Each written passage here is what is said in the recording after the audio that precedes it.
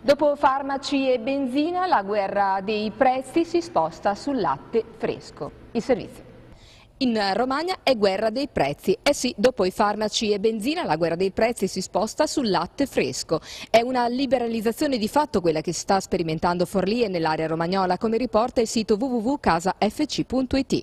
Per la prima volta in Italia, infatti, una catena della grande distribuzione organizzata sta proponendo latte fresco con il proprio marchio e ad un prezzo inferiore di circa 20 centesimi al litro rispetto ai marchi più noti.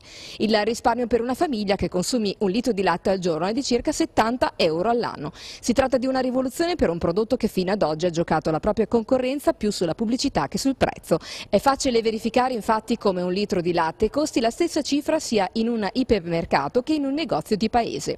La catena interessata è la cooperativa di dettaglianti Conad Cia di Forlì, che si approvvigiona dalla cooperativa agricola Latte Trento.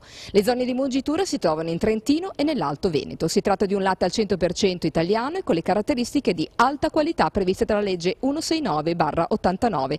Nella promozione di lancio sono state regalate oltre 30.000 bottiglie ai consumatori. Se ne può dedurre che il volume annuo dovrebbe essere di oltre un milione di litri. È ipotizzabile che dopo le prove tecniche di concorrenza in alcune regioni pilota, Conad estenda la vendita sull'intero territorio nazionale. Il